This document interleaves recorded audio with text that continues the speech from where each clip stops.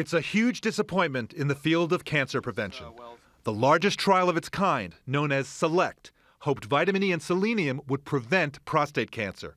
But CBS News has learned patients are being told to stop taking the pills because they don't seem to work.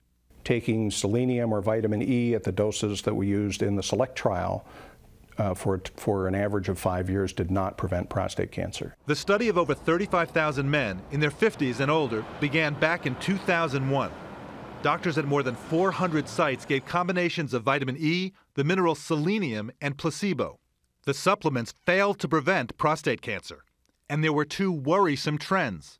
Patients taking vitamin E alone had a slightly higher rate of prostate cancer. Men who took selenium alone were more likely to develop diabetes. The researchers believe the increases may just be due to chance. The safety issues are of more minor concern and bear further follow up. Vitamin E and selenium are antioxidants that exist in relatively small amounts in food. Previous studies suggested that higher doses might help prevent prostate cancer. That's why urologists like Dr. Aaron Katz had high hopes for the trial. I'm disappointed with the study. I'm very concerned about the results of the trial. I would have hoped that this would have been the way to prevent cancer in this country. Over the next week, the 35,000 men in the study will be notified of the results and told to stop the supplements. Dr. Katz spoke to one of the participants today.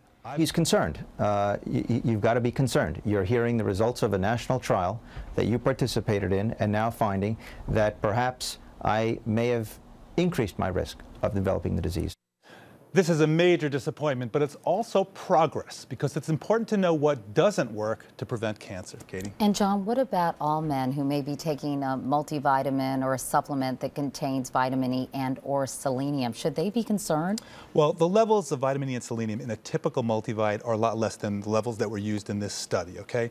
But here's the thing, if you're taking a supplement, talk to your doctor because Supplements are not regulated by the FDA. They can have side effects. And here's the punchline of the whole deal today. Studies like this are very necessary because they help us to figure out what works and what doesn't work. All right, Dr. Jon LaPook. Jon, thanks so much.